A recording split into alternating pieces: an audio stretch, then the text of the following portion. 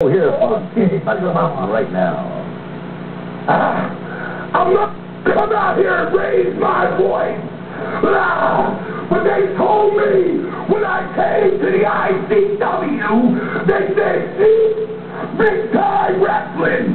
You want big time wrestling? You got it. If it's singles or with a tag, you got it. Face it, the superstars of the ICW on the highway of life.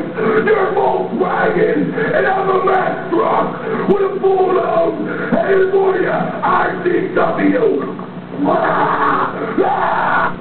Mr. Rumble, that's still one man that I wouldn't want to get in front of. He's sent him out and fired up. Single, back on me.